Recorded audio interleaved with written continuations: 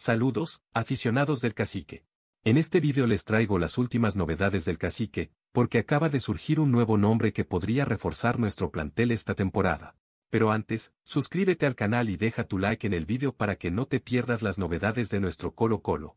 Colo Colo sigue buscando refuerzos y se vislumbran nuevas alternativas, pero lo preocupante ahora es que estamos en febrero y el equipo aún tiene solo un contrato firmado. Sin embargo, la directiva no se detiene y en los últimos días ha surgido un nuevo nombre en las conversaciones en el Estadio Monumental. Se trata de Lucas Cepeda, jugador de 21 años proveniente de Santiago Wanderers.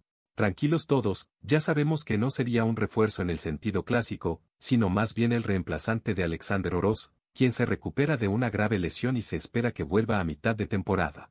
Pero hay un detalle, según la regla sub-21, que incluye a jugadores nacidos a partir del 1 de enero de 2002, Cepeda no entraría en esta categoría, pues nació el 31 de octubre de 2002. La idea es buscar más opciones en la saga central, sobre todo considerando la situación de Oroz. En Colo Colo, sin embargo, las opciones no paran ahí. Además de Cepeda, nombres como Diego Rubio y Luciano Cabral están sobre la mesa. El regreso de juveniles es una posibilidad latente y la búsqueda de jugadores de ataque es la nueva prioridad. Pero lo cierto es que estamos contra reloj, amigos.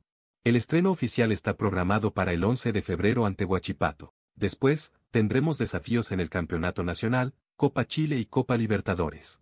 Entonces, Nación Colocolina, ¿qué te parecen estas nuevas alternativas? ¿A quién más te gustaría ver con la camiseta alba? Déjanos saber en los comentarios. Y si te gustó este video, suscríbete al canal, activa la campanita para no perderte las novedades y apoyemos a Colo Colo hasta la victoria. Hasta la próxima chicos.